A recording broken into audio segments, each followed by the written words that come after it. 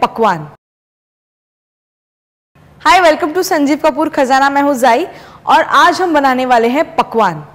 पकवान एक सिंधी डिश है और इसे दाल के साथ खाया जाता है। चलिए नोट करते हैं इसकी सामग्री।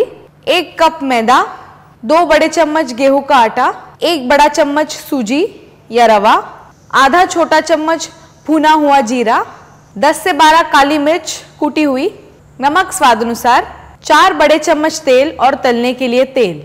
मेरे पास यहाँ पे एक स्टील का परात है, इसमें मैं ले लूँगी मैदा। मैदे के बाद इसमें मैं डालूँगी आटा। आटे के साथ साथ इसमें मैं डालूँगी रवा या सूजी, जीरा, जिसे मैंने भून लिया है, काली मिर्च, नमक, तेल। इसमें मैं पानी डालूँगी और इसका एक मीडियम सॉफ्ट डो बना लूँगी। चलिए, हमारा ये डो बन चुका है। इसे हम डिवाइड कर लेते हैं और इसकी अब हम एक बड़ी रोटी बेलेंगे।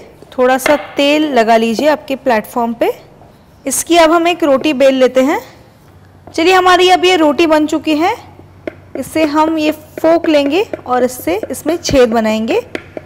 क्योंकि हमें हमारा ये जो पकवान है वो फूलने देना नहीं है। मैंने यहाँ पे कढ़ाई में तेल गरम करने के लिए रखा है। इसमें अब हम ये पकवान डाल देंगे और इसे मीडियम हीट पर क्रिस्प होने तक फ्राई करेंगे।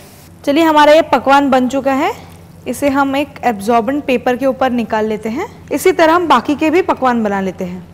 पकवान तैयार है, इन्हें गर्मा गर्म दाल के साथ सर्व कीजिए।